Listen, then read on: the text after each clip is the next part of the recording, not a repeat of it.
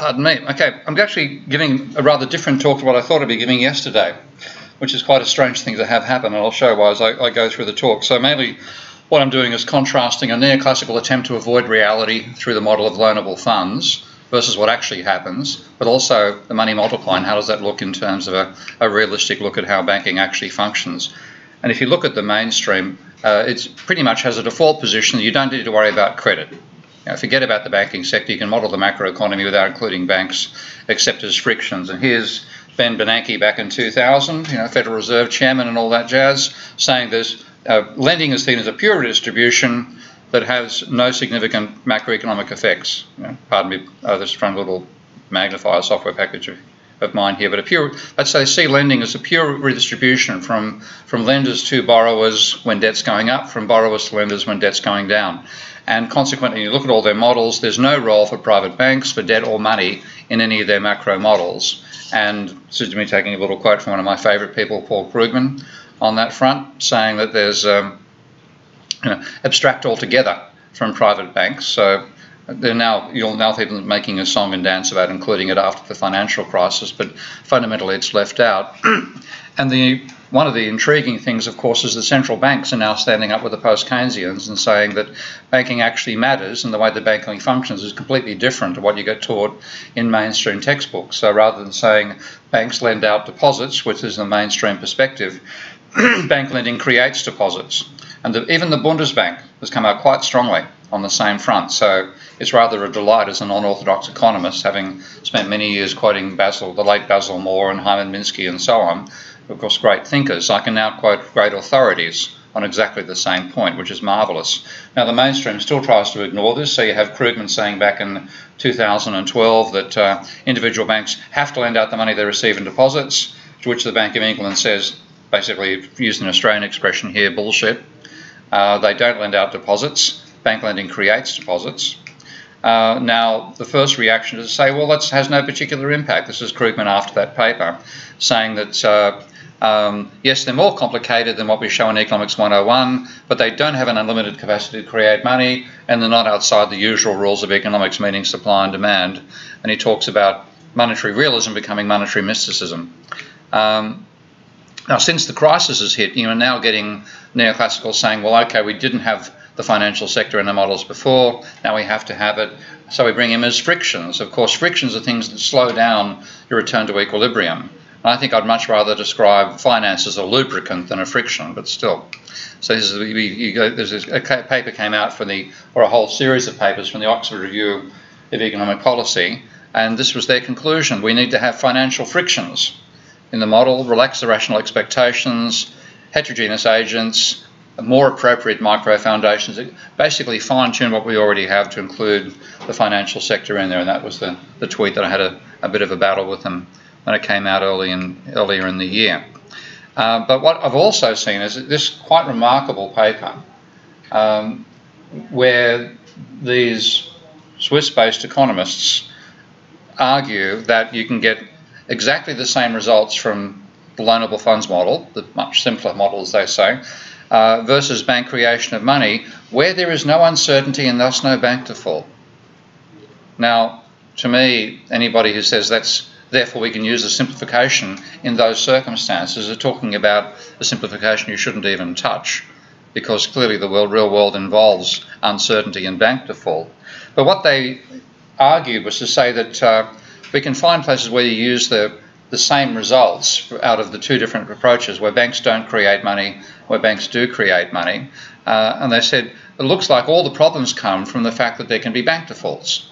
So if there are no bank defaults, you'll get exactly the same results out of the two models. Now, it's a classic, typical neoclassical overlapping generations model, and leaving aside the insanity of saying, let's assume there are no bank defaults, uh, what I want to look at is the whole idea of saying, well, the only difference becomes because you can have defaults in one. If you have defaults in one situation, it's different to having defaults in the other. Therefore, uncertainty is the only thing that makes a difference between the two models. So what I want to show you as an alternative to their, their benchmarking. I'm going to show you two benchmark models of loanable funds versus endogenous money, but done not in the overlapping generations model and that usual sort of stuff, but my Minsky software. Does anybody here play with Minsky at all, by the way? Anyone?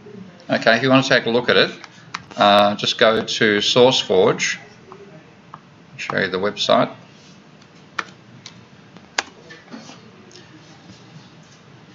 SourceForge Minsky, and you can download it from there and install and play with it. So what I'm giving is a, a bit of a, a, a, primer on using Minsky as well in this uh, in this talk as well. I'll bring that up so you can see the, the link there. So SourceForge Minsky, and it's it, it is part of a family of software packages that have existed for virtually half a century. So economists are that far behind the times because most of them aren't even aware that this sort of software even exists. And the packages I mentioned there, Vensim, Stella, Simulink, they all sell for about $2,000 a copy. So Minsky's a bit cheaper, it's free. Okay. Um, not as well featured, but it has some things that they can't handle. Has anybody ever seen a System Dynamics program before? Okay, two, but most of you haven't. Okay, I'll just show you. You've heard of the what's called the, the uh, butterfly effect for the weather. Okay, the flapping of a a butterfly's wings can change, in Brazil can change the temperature, or give you a, a cyclone in, um, in America.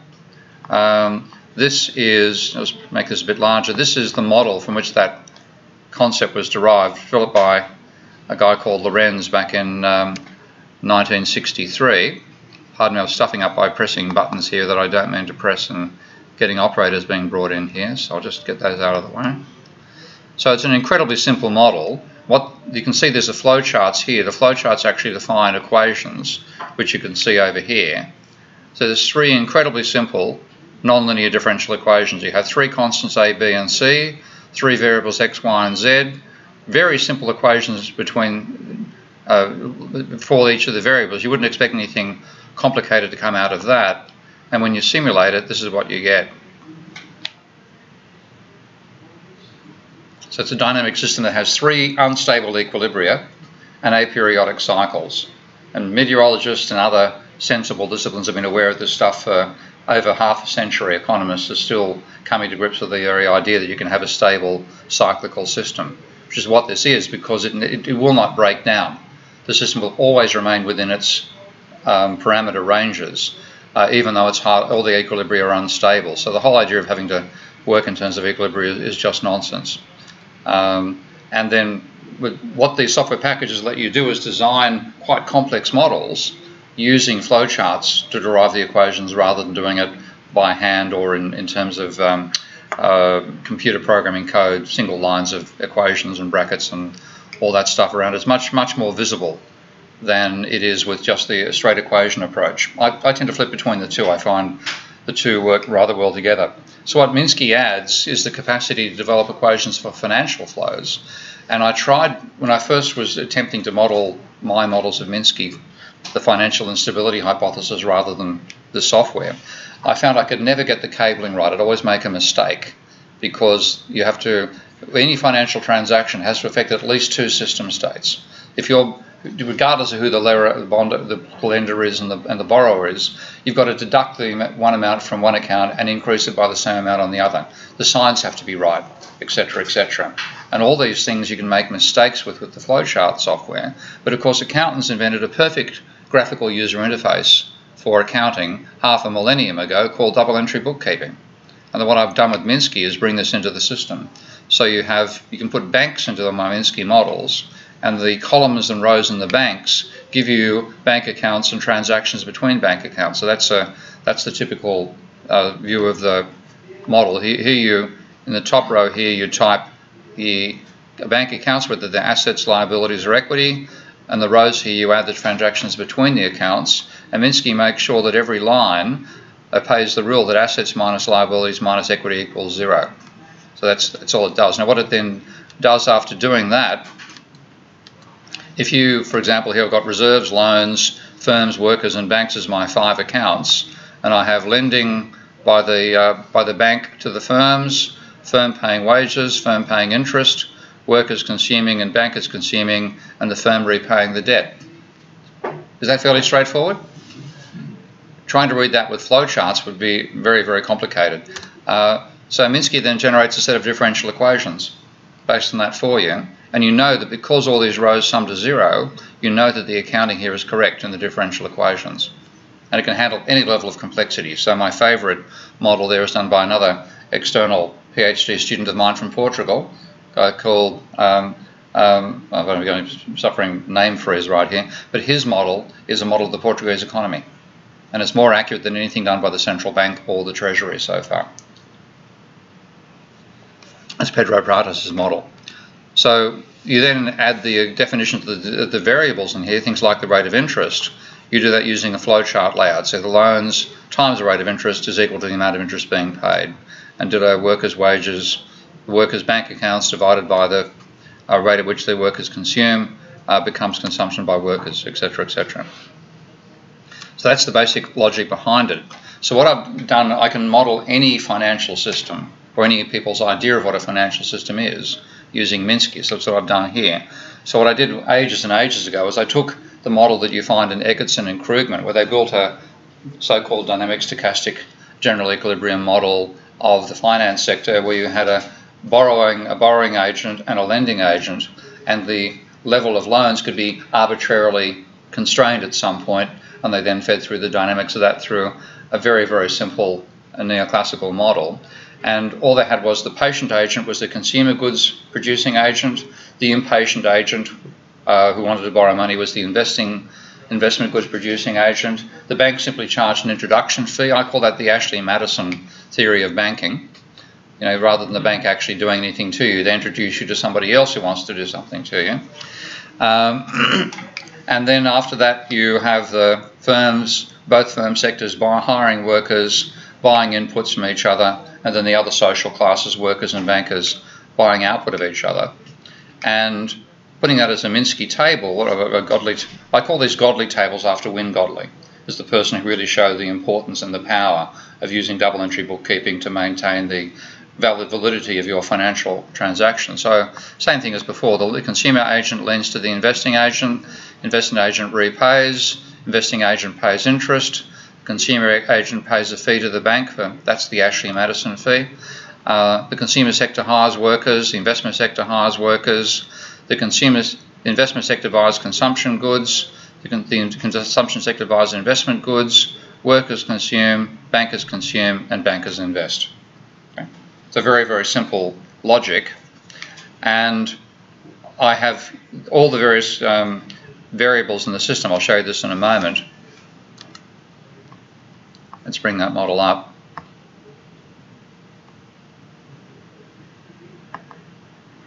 So down here, I'll just actually zoom in and show some of these definitions down here. Down here I've defined things like the rate of interest on debt multiplied by the level of debt is interest payments. That's what all those equations are doing. What I also have is the rate at which lending is occurring and repayments occurring and so on, and they're controlled by parameters, those are the blue boxes, and you can vary the value of a parameter while the model runs to see what happens. So the two ones that I'm looking at, the key ones, are the rate of lending and the rate of repayment. And the smaller the number I give, the faster these things happen because the number basically says how many years does it take a particular entity to double. So if I have seven there, it'll take seven years to double loans. If I had 10, it's 10 years to double loans. So the smaller number means a high rate of lending.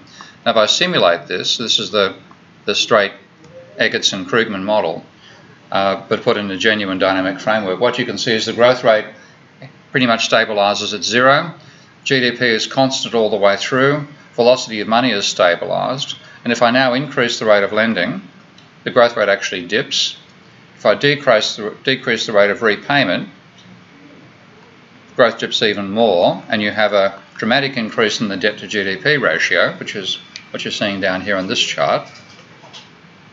That's rising dramatically. Nothing much has happened to the growth rate and your GDP is still flatlining at 200.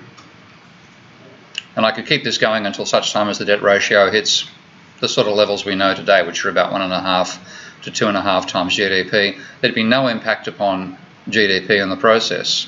And if I now uh, slow down lending dramatically and increase how fast repayment occurs, then the debt ratio plunges. The growth rate actually jumps up a bit for a while, but then it falls down to zero again. So what I've got is dramatic changes on the financial side of the economy and nothing happening worth talking about on the macroeconomy. And that's, that's the perspective they've got. If you can use loanable funds, then lending has no impact on the amount of money in circulation. It might it changes how fast money turns over.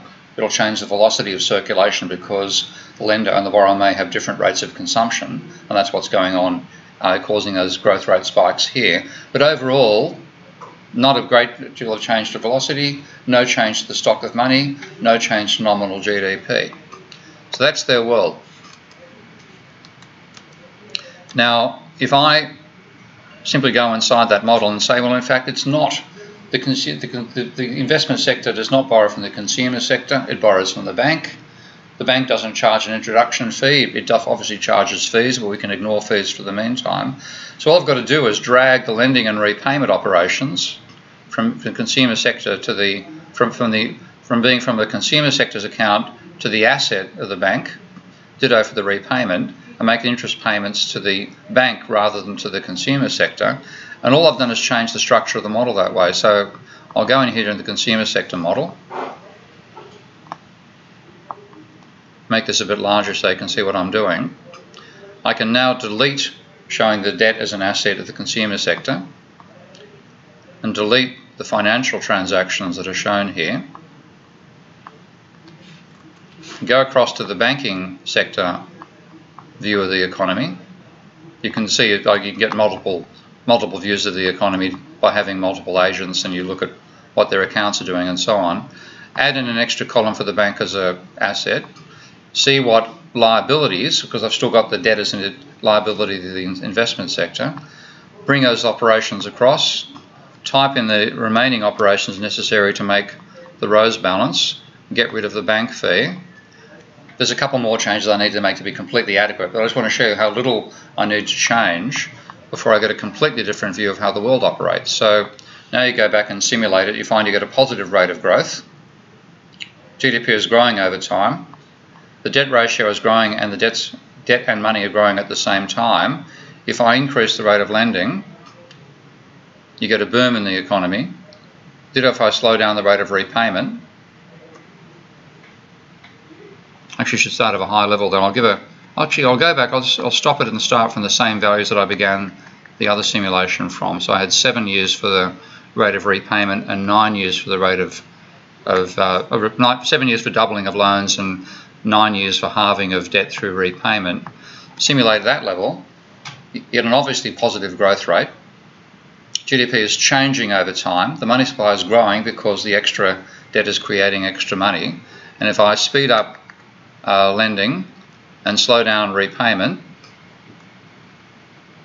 you get a more extreme boom.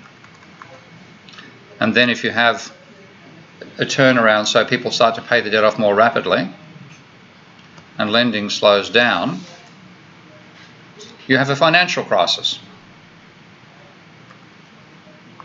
with the collapse in GDP. Now all I've got to do is say loanable funds is wrong, bank originated money and debt is correct.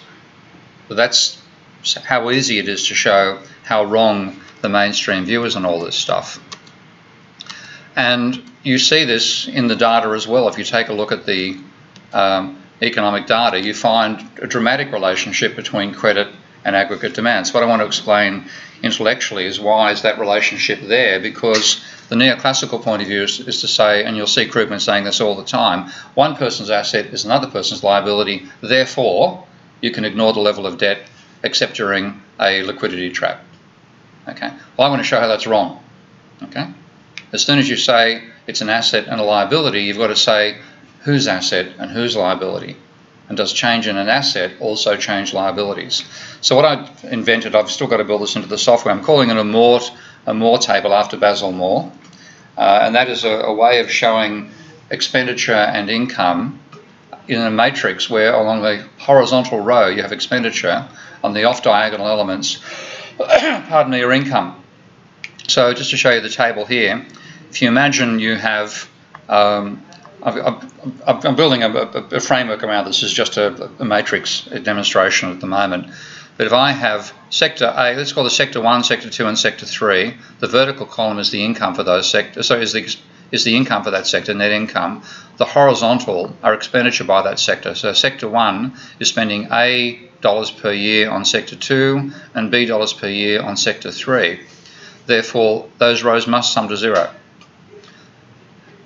down the diagonal, you have the negative of the, the negative of the diagonal is going to be expenditure. That's aggregate expenditure. The off diagonal is aggregate income. So there's expenditure by all the various agents. It necessarily is equal to income. So this is the identity of expenditure and income, but you can still so show a role for credit in that situation. So here's a model with no lending and no, no, no debt whatsoever. All transactions are financed out of existing money, and it's the rate of turnover that matters. And if you take a look at it, you, what you've got is Milton Friedman's velocity of money times the stock of money, telling you how much monetary demand there is in the economy. Now, if you do loanable funds, well, one sector is borrowing from another sector. So you've got a transfer of money along the diagonal. I call this, this is loanable funds. So you have sector uh, two lending to sector one. And sector one, sector two used to spend C and D on sector three. Now it's C and D minus L because it's lending that flow to the first agent, and the first agent then spends that on the third agent and pays interest to the second agent for the money they've borrowed. So there's your loanable funds transfer of money, and they cancel out. Then you have um, the expenditure impact also cancels out. Interest payments don't cancel out. Okay? So what you find is in loanable funds, you get the quantity theory of money plus gross financial transactions. If I included interest payments, deposit, I'd get a positive deposit payments as well. It's not net, it's gross. Which again, something I didn't expect until I did the mathematics, and then I found my expectation was wrong, but it actually strengthened the results in that sense. Now, the interesting one is, is if you have bank originated money and debt, as I'm now calling endogenous money. I think endogenous money is a very obscure term for anybody who's not doing a PhD in the topic. Bank originated money and debt, it's got a nice acronym, and it's obvious what you're talking about, even to people who aren't in the banking sector uh, in the in the in the academic world. So what I now have is off off this matrix. This this is the the the bank creates uh, well adds to its asset by lending money to you, and it adds to its liabilities as well. And then the borrower spends that money. So I'm not showing the the asset side of things here, but there's uh, the spending by the sector one that's doing the borrowing, spending it on sector three, and having to pay interest to the bank. And then if you sum up the diagonal and sum up the off-diagonal elements, you get exactly the same result. If I substitute in there that um, the L is the change in debt, so new credit is also equivalent to new debt, you get aggregate demand includes credit and aggregate income as well. So it's quite simple and logical to show that there would be an impact. And that's what the mainstream are missing out on by leaving credit out of their thinking. So it matters because expenditure determines income, and expenditure has two sources when you're looking at the domestic world. You can have the turnover of existing money, which is the basic Milton Friedman logic. You also have credit money created by the banking sector. So the new credit money is identical to new debt because new debt creates new credit money. That's then spent into the economy, and you get a mainly now causing asset price inflation, of course. So credit is not a pure redistribution and it has highly significant macro effects which the mainstream is still ignoring. And I find it incredibly frustrating. A decade after the event, they're still ignoring this obvious data. Uh, and it's when you look at the the, the logic uh, using the monetary system that I use and that Wynne Godley uh, developed, um, then you get a very very different world. So my back down to compare my Minsky model versus the the one that Farah and Garbush put in that typical neoclassical paper, there is no difference in uncertainty between my loanable funds model and my endogenous money. The uncertainty applies to both of them. There's no risk because there's no stochastic elements between the two, but there's a dramatically different outcome. So credit creation expands and contracts aggregate demand in a world of endogenous money, bank originated money and debt. Um, when you have loanable funds, you don't have that being created. You don't get an addition to or a subtraction from demand from credit. So they're still ignoring the real world in a very dramatic way. And what they're ignoring, and this is what I find so frustrating, I've been graphing this stuff for over 10 years now. That's the correlation of unemployment to credit in America since 1990. A 0.8, minus 0.89 correlation. Spain, minus 0.94. This is how powerful the data is that they're ignoring. Okay? And it's just, to me, it's just beyond ridiculous that they're still attempting to ignore this because their beliefs are more important to them than the real, realism of their models. Now, one thing, this is the new part that I didn't expect the result I got that I did yesterday. So I'll be winging this a bit. We'll see how we go. Uh, the money multiplier, if you think about it, it's one of the, the simplest models in economics and the first thing that gives any school student or university student who confronts it an aha moment. I didn't know that, you know. Uh, so what you have is, pardon me, I've got the analysis on the wrong side here. You have the idea of somebody deposits $100 at the, the Acme Bank. Uh, they hang on to $10 as reserves and loan out 90 and then the person who borrowed that money from the Acme Bank goes and deposits at Bank B, and the deposit is 90, bank hangs on to 9, lends at 81, yada, yada, yada. So after the first three of those iterations, you get $271 deposited out of the 100 initially, 243 of loans, $27 worth of, of, uh, of reserves. Now, this has been rejected by post-Keynesians and by the central banks as unrealistic for a range of reasons. So, for the first thing, it violates the fundamental law of accounting. That hold you that assets minus liabilities minus equity must equal zero. Um, what is being argued here, and I agreed with this until yesterday, I might add, is that no, I didn't. This one I knew there was an error in, but I'll, I'll come back to that in a moment. This says you, if you imagine you can lend from reserves, you're necessarily violating the law of accounting because if assets go down, liabilities have to fall as well. So you can't lend from your assets to your liabilities by deducting from your assets. It's actually destroying money, not creating it. So that was the, one of the first critiques. And they also said it doesn't explain money creation. And this is the part I agreed with until yesterday. So that if you look at what's actually going on, you're simply redistributing existing money, you're not creating more money.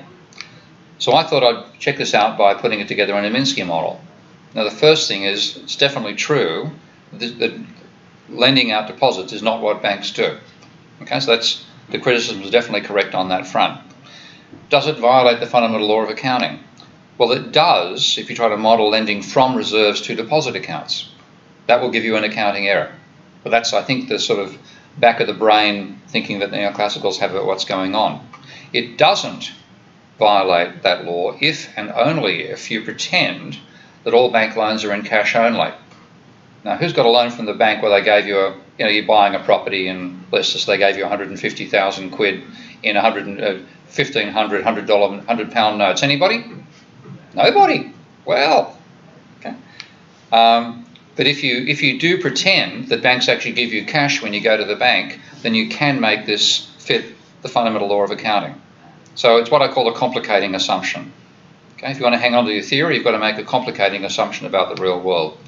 Does it explain money creation? Well, again, it's much more complicated what actually happens because in the real world we know that loans create deposits and so assets rise and liabilities rise at the same time, and it's just one line to show that's actually happening. But you can still explain money creation using it. That's what I didn't expect would happen. That was a surprise in putting this model together. So if you think about the first three stages in the money multiplier model, the first is depositor A puts some initial amount of money into bank X, bank X lends to borrower B, and the bank retains the reserve ratio times the initial amount as reserves, lends out the remainder to borrower B, and borrower B then deposits 1 minus the reserve ratio times the initial amount in bank Y, and on you go. That's the basic logic. Well, I thought I can put this together in a Minsky model. Now, first of all, to show why you can't do what I think economists think is done, lend from reserves, because if I have a minus loans here, so I'm taking money out of a reserve account, and I put a plus over here to increase the amount of deposit account, Minsky says I've made an accounting error. Okay? Quite simple to show that. You've got to have, this has to sum to zero for every line. It doesn't in this particular case, because assets are negative, minus liabilities is also negative rather than getting a zero here, you get minus 2 times the initial loan. You've got an error. So that side is wrong. But you can record the fall in reserves as a loan if you instantly increase the loans by the amount you reduce the reserves by. So if I just pull that entry over here and say the reserves go down, the loans go up, then I get the accounting is correct. Now the only way that can happen is if the borrower takes money out in cash. Okay? Because if you look at the, the bank's view of the cash loan looks like this. Um, first of all, Tom deposits in, uh, in Bank A and then Bank A lends to Dick. So there's minus in the reserves, plus on the loans. From the borrower's point of view, they're seeing themselves, they've got a, assets have gone up, they've got their borrowed money from the bank, they've got cash, okay? Their liabilities have gone up by exactly as much. But money's being created because what you've now got is cash, okay? You've gone to the bank, you've got a cash loan. So you've got a debt to the bank because they gave you the cash, the money you've got is cash, and you then redeposit that back in another bank, and on goes the whole cycle. So putting that together in Minsky, I, will show you that in a moment, I get the money multiplier working dynamically, but I've got to, it isn't the only thing I've got to do. I've also got to pretend that all these things happen sequentially. So first of all, one depositor A goes to the bank and deposits the money. Then the bank lends out the money. Then the next depositor. If I overlap them in any way, it almost disappears. Not quite, but it almost disappears. Now, if you think about the real world, people are borrowing money, lending money, repaying money, depositing money all the time asynchronously. So the right framework for modeling that is continuous time. Things will overlap and change in their dynamics, not asynchronous discrete time. But if I use asynchronous discrete time, I get the neoclassical outcome. If I don't do that, I don't get the neoclassical outcome. So I've got to have two complicating assumptions. I have to assume that banks lend only in cash and that all loans happen in sequence with each other, loans and deposits. So there's no time overlap. Then I'll get the neoclassical system. So this is what a model looks like, and I'll bring it up and show you.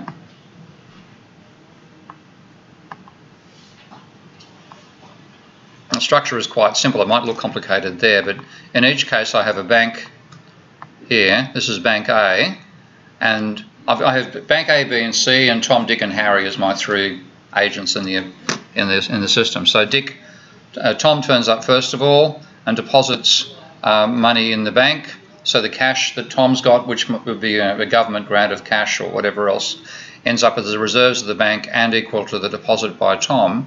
And then Bank A lends Dick. And what happens from Dick's point of view is Dick now has this loan which has given them cash, so the assets have risen equal to the debt, and they then deposit that uh, in the next bank, which is Bank C, and the whole thing cycles around. And then what I've got over here, and this looks quite complicated, but it's basically logic, here saying between time period 0 and time period 1, the amount of money that's injected into the economy, which in this case is 100 pounds, is paid into the paid into the banking system. And then when time was t equal to 1, that flow stops. So if I simulate this, and then, then what happens is after that happens, the bank then lends the money that's been injected out while hanging on to the reserve ratio for, for its, its own reserves, lends that to the second agent, and then the second agent deposits and the second bank lends out, and the third agent deposits, and the third bank lends out. I'm just doing three here, but that's enough to give you the idea of the dynamics. And you simulate it. And what's going at this stage is reserves are going up and cash is going down.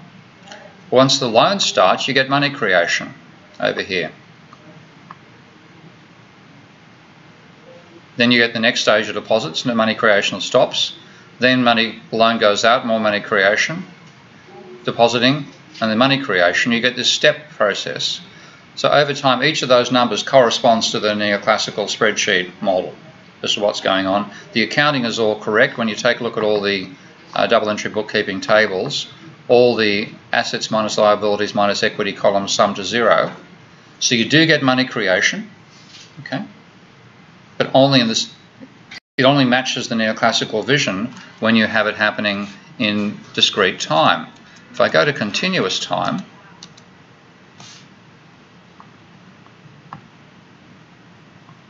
and I have a very fast rate of, rate of depositing going on here, you can see the reserves and the cash changing over time. You can now just see that the level of money has grown above the base level there. Uh, simulation has been running for five years at the moment, and it'll take 35 years for the amount of money in the economy to double.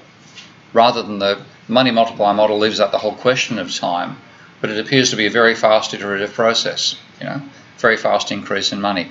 A again, this is an artifact of the, the model itself. It's not anything like the real world. So it'll take 35 years to get to the stage where the amount of money doubles in the economy.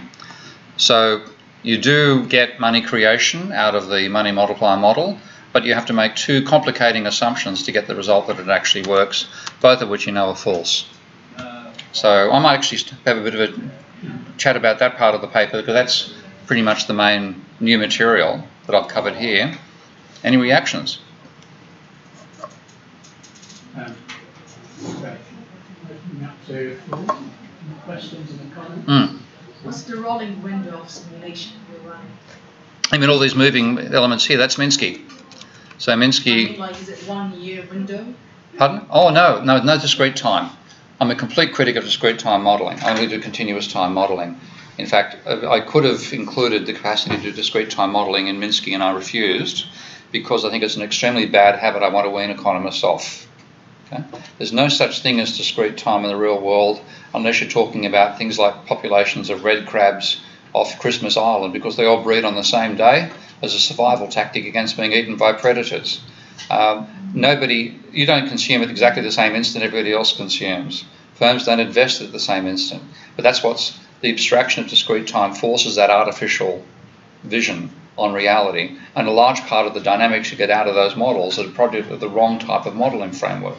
That's what I've actually illustrated in this case around. Discrete time modeling gives you a very different result to the modeling the same process in continuous time. Even though the two models are shown they are both fictions, there's an enormous difference between the two.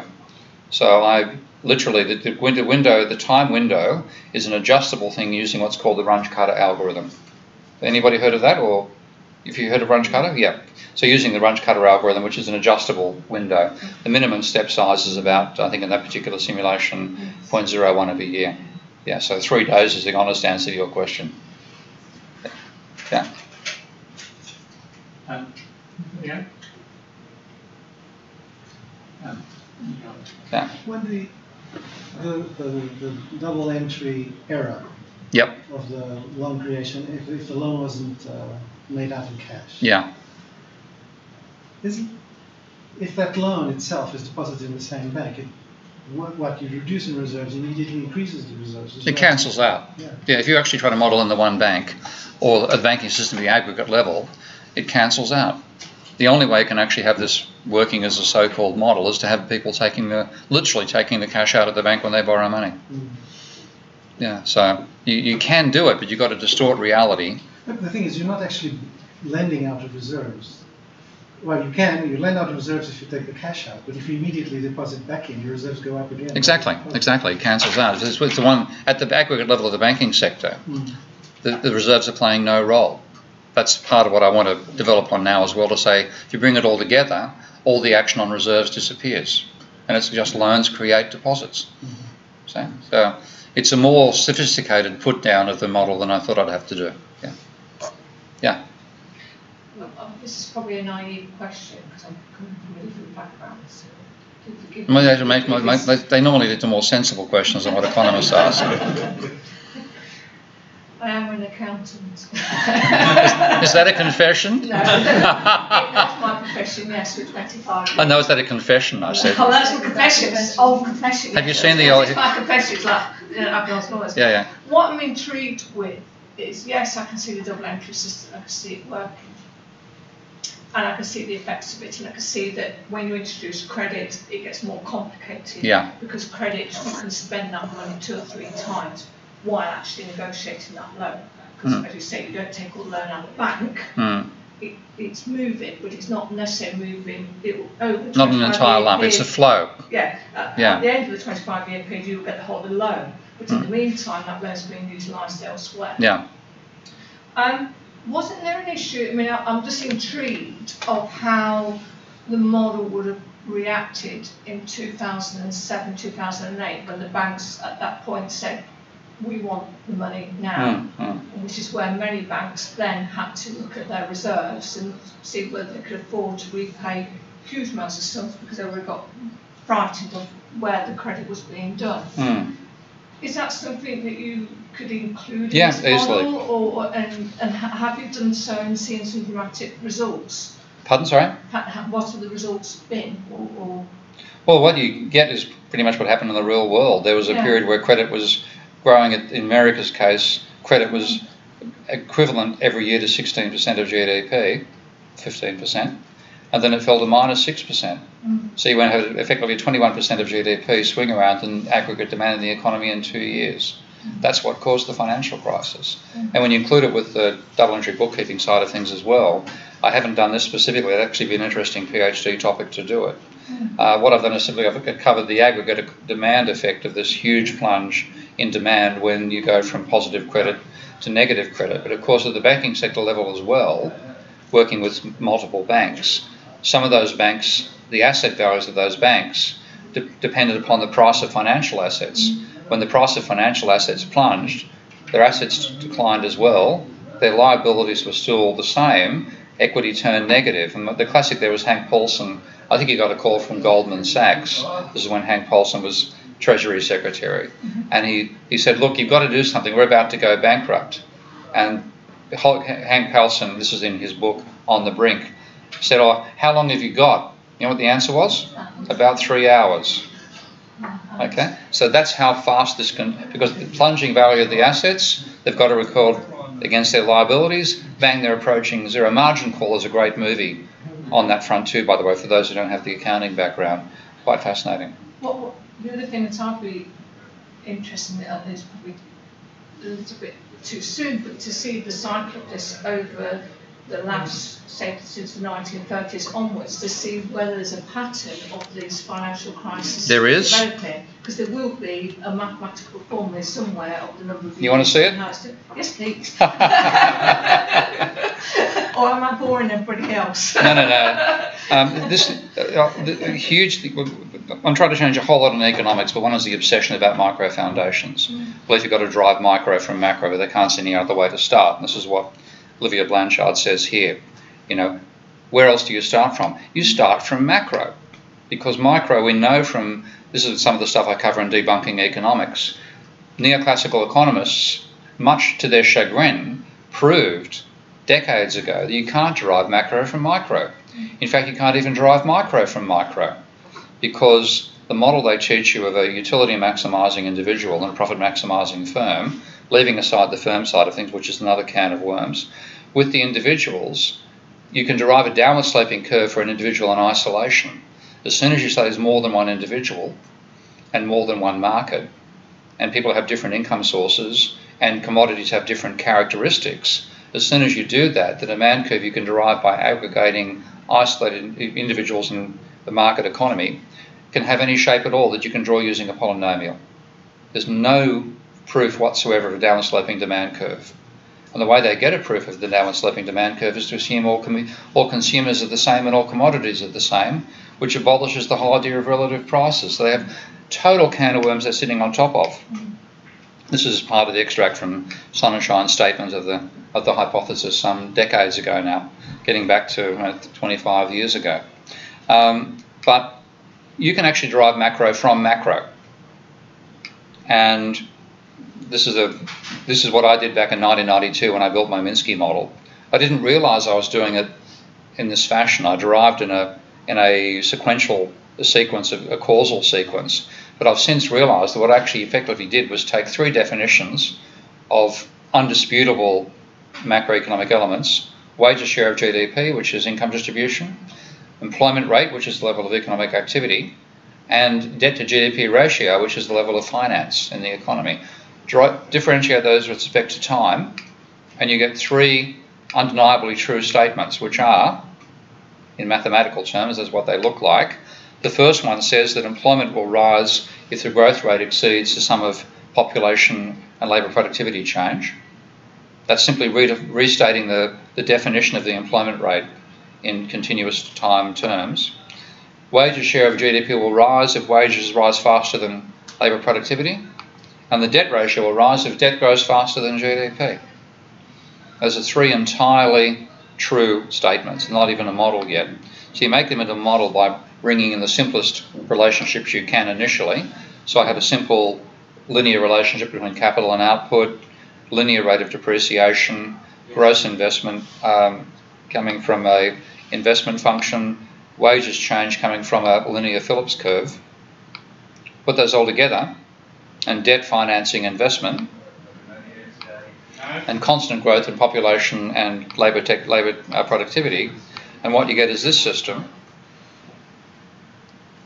And when you model that system, you get a system which has got it's on two unstable equilibria, or one stable, one unstable equilibria. And I'll simulate it and show you its behaviour.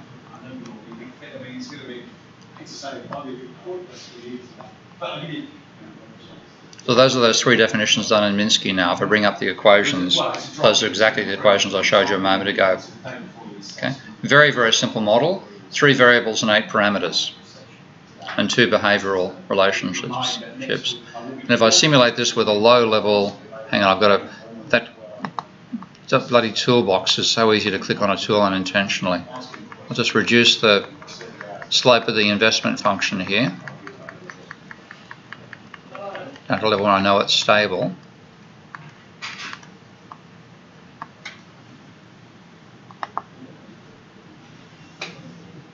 Oh, hang on. Oh yeah, it's going to be stable. Slowly. So you get an economy that stabilises to an equilibrium rate of growth, equilibrium level of employment, equilibrium wages share. I won't, it'll, it'll get there, I won't, won't, won't keep on going to I want to show the other effect. If you have a higher rate of desire by, to invest by capitalists,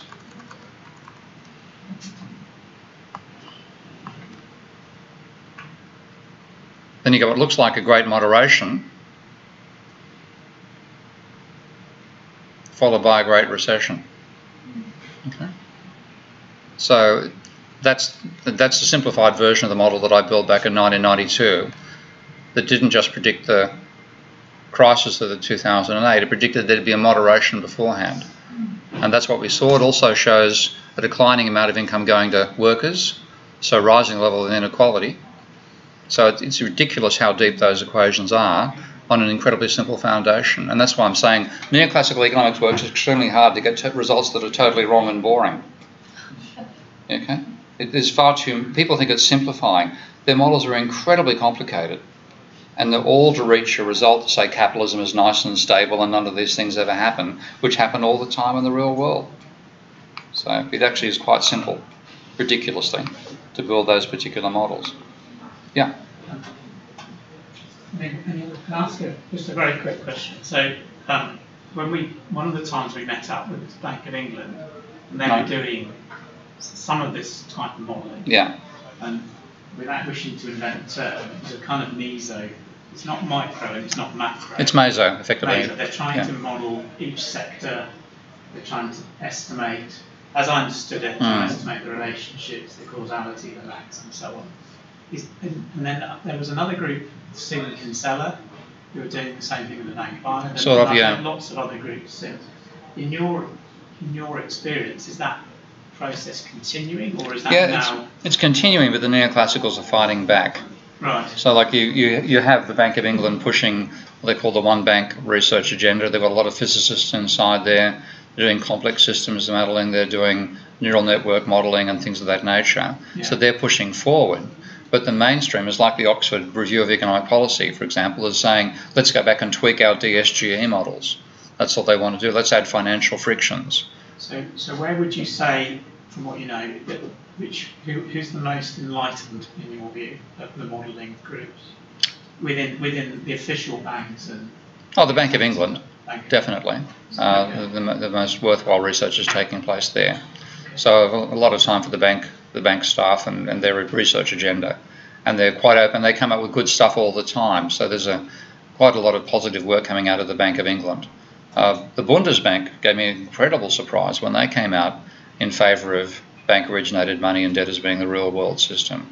So I, I don't know how much has actually happened there, but the Bundesbank appears to be a point of progress as well. The Bank of Norway, those are three that I know for sure, and various banks in South America. So it seems to be the central banks that are doing the interesting work now because the mainstream academics want to go back to believing what they've always believed. Whereas the central banks, I think, were on the firing line. They, they took they, they convinced the politicians that we can do it better than you can. And then a financial crisis occurs, and who cops the crap for it? The politicians. What do they do when they get when the when the press goes away and they stop smiling? They bash the shit out of the economist who told them it was all going to work out well. So in that sense, the, the, the political nexus with central banks means that the the politicians have imposed. So I want something I'm not going to be embarrassed by in two years' time when I'm still in office, when I'm campaigning for the next election. I don't want you bastards stuffing up my electoral capabilities. So in that sense, that political pressure, even though they talk about central bank independence, that political pressure means that the effort to innovate and be more realistic is stronger in central banks than not even treasuries than it is in academic departments. Yeah. Okay. We're, we're a little bit over time, so I think probably, thank you very much, Steve. Yeah. So much for coming. Welcome.